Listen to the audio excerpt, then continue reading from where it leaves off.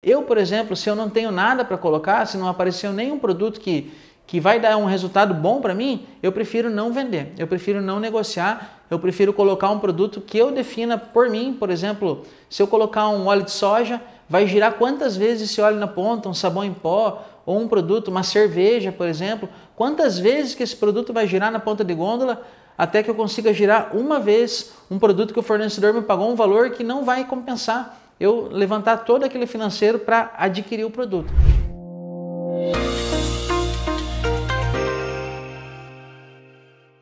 Olá, meteóricos, como que vocês estão? Eu sou Pedro de Lanora, supermercadista há mais de 15 anos, sejam muito bem-vindos ao meu canal.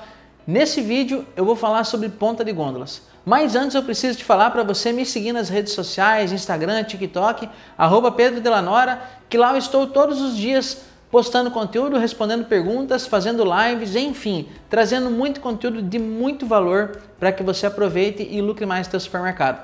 E nesse vídeo eu vou falar sobre ponta de gôndola. Como que eu organizo uma ponta de gôndola, como que eu faço uma ponta de gôndola vendedora e como que eu faço isso dar certo dentro do meu supermercado. Vamos lá? Primeiro ponto que eu quero falar com você é sobre negociação de ponta de gôndolas. Então você pode pegar no teu supermercado e negociar algumas pontas de gôndolas com alguma indústria, com algum distribuidor, com algum fabricante, que ele vai fazer o que? Ele vai pagar um valor para que você coloque o produto deles dentro do teu supermercado. É uma política boa, uma política que vale a pena fazer, uma política que dá certo, mas tem algumas ressalvas que eu vou passar para você agora. Eu tenho que definir quantas pontas que eu vou negociar. Por exemplo, no meu supermercado eu tenho 12 pontas de gôndolas. Então, eu defini que das 12 eu vou negociar 4 ou eu vou negociar 6. Então, para quê? Para que eu tenha algumas disponíveis para que eu coloque os produtos que eu queira.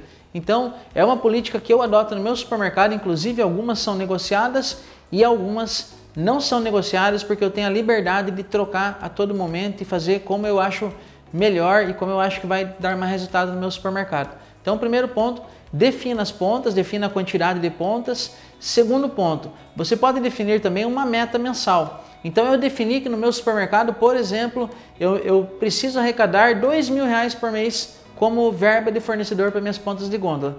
Eu tenho quatro pontos para negociar, então eu preciso arrecadar 500 reais por ponta por mês. Aí eu posso dividir isso mensalmente com, com um fornecedor só eu posso dividir isso quinzenalmente ou eu posso dividir isso em 10 dias, por exemplo, em três etapas de 10 dias. São modelos que dá super certo, aí você tem que definir alguns pontos em cima disso. Por exemplo, se eu definir um período mais curto de 10 dias, eu preciso comprar uma quantidade de produto que depois que acabar esse tempo, eu não fique com muito no estoque, porque se eu ficar com muito no estoque, vai ficar dinheiro parado, vai ficar dinheiro lá e eu vou pagar esse boleto e vai ficar muito produto lá guardado. E a ideia é o que, que é? A ideia é que você gire esse produto antes mesmo de vencer o boleto. Assim você consegue pagar o próprio fornecedor com o lucro que o fornecedor vai te dar. Esse é um primeiro ponto que eu queria passar para você. Outro ponto que você tem que levar muito em consideração quando você vai negociar a ponta de gôndola é você acertar o produto que você vai colocar. Por exemplo, não faz muito sentido, no meu ponto de vista, eu colocar uma ponta de gôndola de é, desodorizador sanitário. Por exemplo, é um produto que gira pouco, é um produto que não tem aquela saída extraordinária, nem numa ponta de gôndola vai ter saída extraordinária. E o que, que vai acontecer? É uma compra muito alta que eu tenho que fazer para encher esse espaço. Então, muitas vezes, o valor que vai dar a compra dessa mercadoria vai ser enorme e o tempo que eu vou levar para vender essa mercadoria não vai compensar eu negociar essa ponta. Então, leve muito em consideração o tipo do produto que você vai colocar, porque senão daqui a pouco você vai estar cheio de boleto para pagar no teu supermercado, você vai estar cheio de produto no estoque que não vai girar. Então você tem que ter esse cuidado para não estourar o teu financeiro, porque de repente você vai arrecadar mil reais numa ponta de gôndola, mas o transtorno que você vai ter para vender, para girar esse produto depois, é muito mais alto do que o dinheiro que você vai arrecadar com o teu fornecedor. Então tem que ter esse cuidado também. Quando você vê, eu por exemplo, se eu não tenho nada para colocar, se não apareceu nenhum produto que, que vai dar um resultado bom para mim, eu prefiro não vender, eu prefiro não negociar, eu prefiro colocar um produto que eu defina por mim. Por exemplo, se eu colocar um óleo de soja, vai girar quantas vezes esse óleo na ponta, um sabão em pó, ou um produto, uma cerveja, por exemplo, quantas vezes que esse produto vai girar na ponta de gôndola até que eu consiga girar uma vez um produto que o fornecedor me pagou um valor que não vai compensar eu levantar todo aquele financeiro para adquirir o produto. Então, muito cuidado nesse ponto, tá? Porque senão você vai se empolgar, vai querer sair negociando todas as pontas de gôndola do seu supermercado e daqui a pouco a conta não vai fechar também, tá? Então tenha esse cuidado. E se esse vídeo estiver fazendo sentido para você, se vai ser importante você usar nas pontas de gôndola do seu supermercado, já dá o like, já se inscreve no canal para você aproveitar muito mais vídeo com muito mais conteúdo para você agregar no seu supermercado. Então eu defini as pontas que eu vou negociar, eu acertei o produto certo que vai mais vender, eu negociei com os meus fornecedores o valor daquela ponta, pronto, eu defini as pontas do meu supermercado, defini o tempo, tudo certo. Depois disso vai sobrar algumas pontas que eu vou fazer as minhas promoções. Então eu vou fazer minhas promoções semanais, diárias. Eu não sei como que você faz as suas promoções. Então eu vou pegar um exemplo aqui de um supermercado que trabalha com ofertas diárias ou que trabalha com ofertas para dois dias, um período muito curto de oferta. Primeiro ponto, eu tenho que colocar produto que vai girar muito nessas pontas, porque são lugares especiais da loja, são lugares que o cliente enxerga mais porque está na ponta, ele vai olhar mais. Existem pontas de gôndola muito estratégicas, perto de um açougue, perto de um hortifruti, perto de um checkout, onde tem alto fluxo de clientes, então você vai ser mais estratégico ainda. Outro ponto que você tem que analisar, primeiro ponto é o produto certo, produto que gira, né? Você pode colocar produtos temáticos também. Então chegou ali no, no, inverno, eu posso fazer uma ponta de gôndola de vinho. Chegou no Natal, eu vou fazer uma ponta de gôndola de panetone, uma ponta de gôndola de produtos natalinos que vão girar mais naquelas épocas do ano do que em outras épocas. Mas tirando isso, eu tenho que pôr produto de alto giro, tá? Porque senão não vai ser muito interessante. Outro ponto que eu tenho que levar em consideração, vamos supor que eu não tenha produto para eu faço ofertas diárias, mas eu não tenho como mudar essa ponta de gôndola todo dia. Então você define aquela que vai ficar no teu final de semana, por exemplo, o que, que eu vou colocar no final de semana? Sexta, sábado, domingo.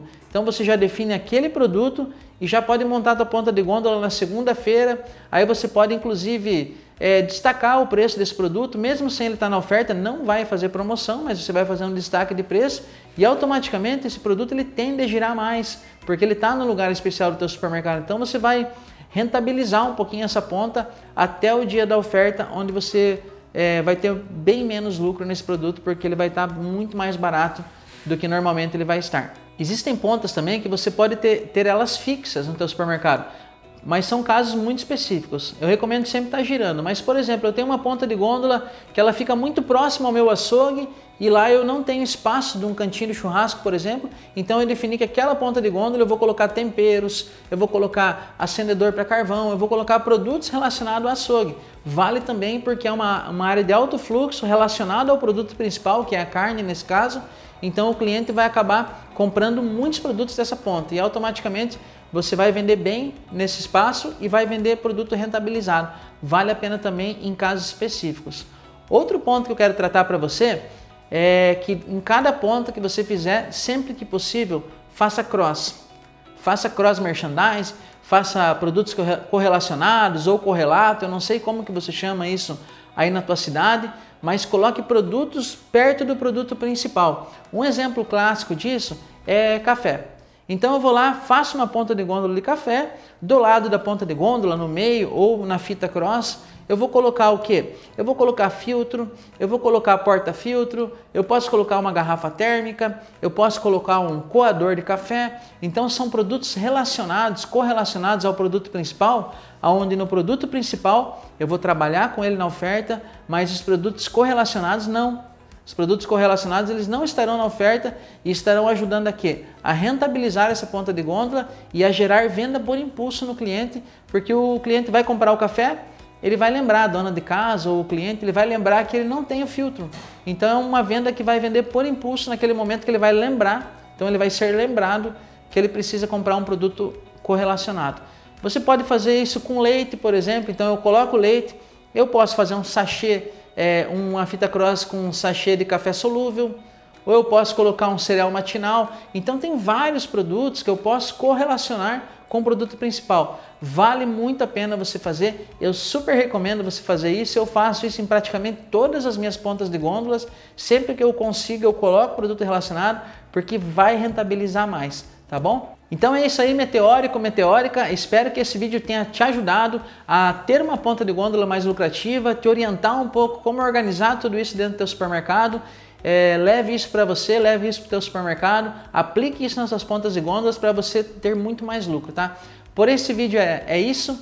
Aproveita, me segue lá no Instagram, no TikTok, arroba Pedro Delanora, que eu estou todos os dias no Instagram postando conteúdo, respondendo caixinhas, fazendo lives, enfim, trazendo tudo que é envolvido com o supermercado. Se inscreve aqui no canal para você aproveitar mais vídeos como esse, ativa as notificações e enquanto outro vídeo não sai, aproveita e já consome o conteúdo que tem aqui disponível para você voar na tua lucratividade. Por esse vídeo é isso, um abraço e até a próxima.